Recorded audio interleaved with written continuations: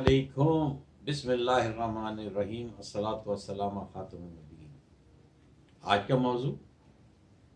उससे पहले आपसे भी दरख्वास्त है कि आप हमारे बेल आइकन को प्रेस कर दें चैनल को सब्सक्राइब कर दें और जहाँ तक हो सके शेयर करें ताकि बर वक्त ये वीडियो आप तक पहुँच सके।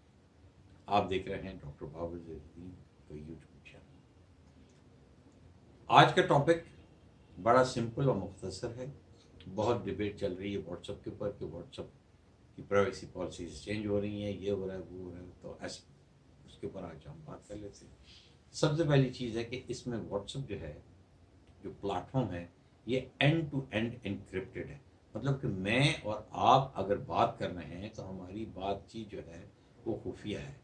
ग्रुप चैट्स और मोबाइल डेटा, जैसे आपके मोबाइल का नंबर, आपकी place, location I M E number, ये सब पब्लिक चली जाएगी और ये चीज़ वो फेसबुक के साथ शेयर कर लेंगे तो घबराने की कोई बात नहीं है। आपकी प्राइवेसी पॉलिसी कोई ज़्यादा उसमें इंटरफेरेंस नहीं आएगा। सिर्फ़ आपसे गुजारिश है कि अपने bank bank accounts personal details next of kin ये चीज़ें वहाँ शेयर ना करें। और ना ही इसको किसी और को एक्सेस दें।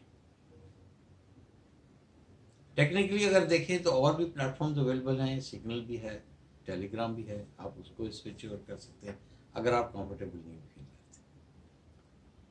तो ये तो जो चीज़ें मैंने कही हैं, कोई ढकी छुपी चीज़ें नहीं है, ये तो सारे मीडिया कह रहा है चैनल्स कह रहे हैं, लोग कह रहे हैं ट्रेंडिंग है। और जो मैं चीज़ कहना चाह रहा हूँ कि अगर चाइना ने अपना प्लेटफॉर्म बनाया हुआ है व्हाट्सअप का, जो कि वहाँ यूज़ हो रहा है हम क्यों नहीं बना सकते? व्हाट्सएप की प्राइवेसी पॉलिसी यूरोपियन यूनियन में उसका लागू नहीं तो पाकिस्तान को चाहिए हमारे मिनिस्टर्स जो आईटी के बड़े एग्रेसिव मिनिस्टर हैं, फाद साहब, उनको चाहिए कि हम अपना प्लेटफॉर्म डेवलप करें और वो उसका जो प्राइवेसी पॉलिसी है, वह उसके ऊपर ले आए हम लोगों को, ताकि उसका बेनिफिट पाकिस्तान को।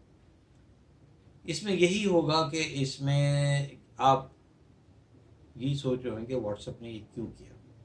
इस वास्ते कि व्हाट्सएप मार्क जुकरबर्ग ने काफ़ी दिन हो गया ख़रीद लिया है, जो कि फेसबुक का मालिक है। ये डेटा और ये चीज़ें यूज़ करके वो अपने बिज़नेस डीलिंग में यूज़ करें। तो ज़ाहिर है इतनी बड़ी चीज़ चलाने के लिए उनको भी थोड़ा सरमाया चाहिए तो ये वजूहत है।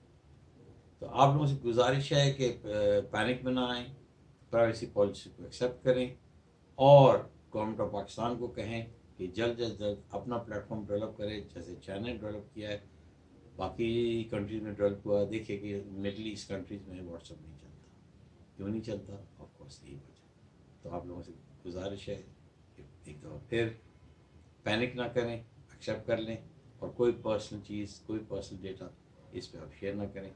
इन इस मुख्तर वीडियो के साथ आपको मैं खुदाफिज कहता हूँ और बहुत जल्द एक और वीडियो के साथ आपके साथ फिर शामिल होंगे। शुक्रिया।